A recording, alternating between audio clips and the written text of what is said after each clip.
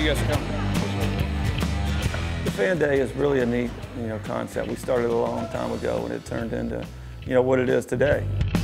We just really appreciate everybody that comes out and shows the support to us. We're excited for this year. We're just trying to have some fun, and hopefully we can turn it into something good.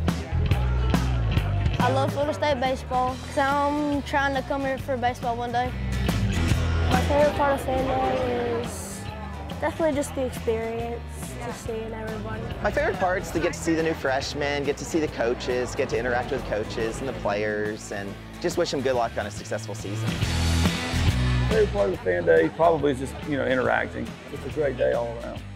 Uh, an hour and 45 minutes of signing and meeting people, and the, you know, they pay the money to sit there and cheer us on, whether it's hot, cold, raining or not, and uh, it's a special time. I mean, everybody that comes out and that shows the support, I mean, we really appreciate everybody that comes out. I love coming out here. I've been a Seminole since 81. Same year as Mike Martin came here.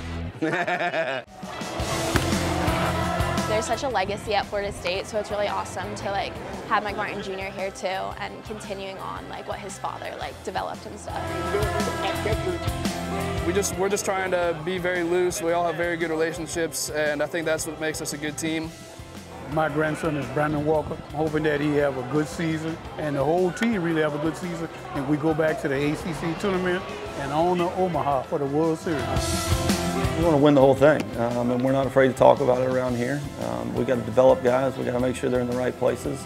Uh, there's a lot that I want to accomplish, and um, you know, this, this is a good group to start with.